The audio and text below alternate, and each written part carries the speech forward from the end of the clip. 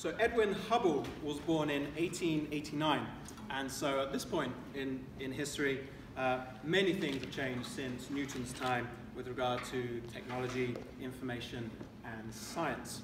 So therefore, we now have a bit of a shift in musical style as well. And it just so happens that there is a famous jazz trombonist called Eddie Hubble, uh, who also played during the early to mid 20th century. And so the trombone becomes the instrument that is featured in this movement.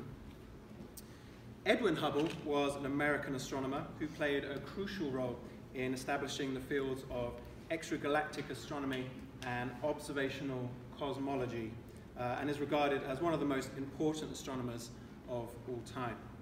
So at the beginning of the 20th century, the prevailing view of the cosmos was that the universe consisted entirely of the Milky Way galaxy. Uh, what Hubble discovered was that many objects previously thought to be clouds of dust and gas and classified as nebulae were actually galaxies beyond the Milky Way. So his observations made in 1924 using the Hooker telescope at Mount Wilson in California, which was then the world's largest telescope, proved conclusively that these nebulae were much too distant to be part of the Milky Way and were in fact entire galaxies outside our own. Hubble also provided evidence that the recessional velocity of a galaxy increases with its distance from the Earth, a property now known as Hubble's law, uh, which implies that the universe is expanding, and which is often used to support the Big Bang Theory. Hubble himself, however, eventually went on to reject the notion of an expanding universe and the Big Bang Theory.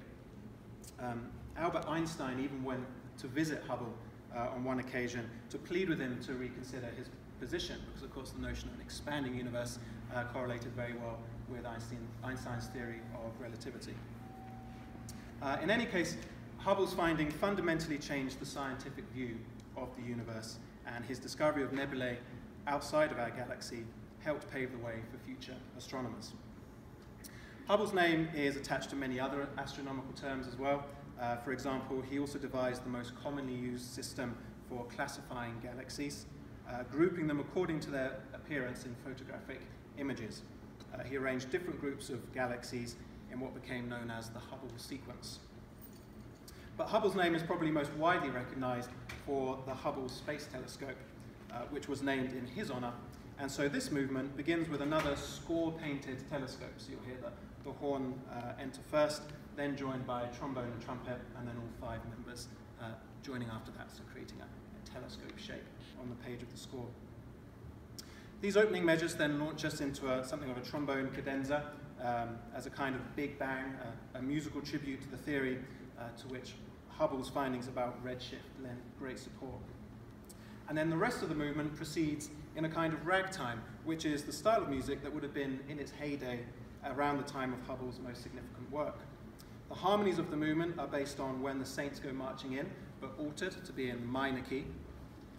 And ragtime is also used purposefully for other reasons.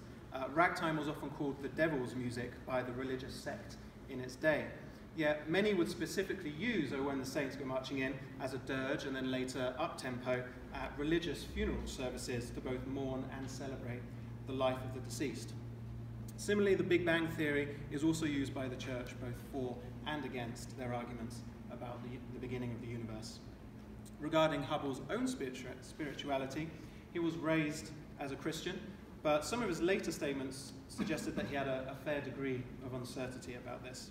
And so when he died of a spontaneous blood clot in his brain in 1953, no funeral was held for him, and his wife never revealed his burial site.